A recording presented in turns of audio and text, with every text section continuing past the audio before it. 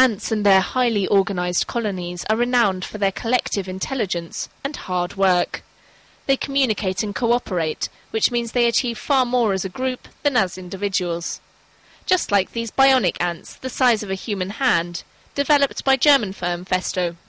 The German firm copied the anatomy and the cooperation of real-world worker ants in their 3D printed design. The robot ants work out their location using a camera and floor sensor. They have grippers to grab items to be moved and six legs, just like their natural counterparts. They can even communicate wirelessly, so cooperation is no problem. And charging the battery-powered insects is easy using their special antennae.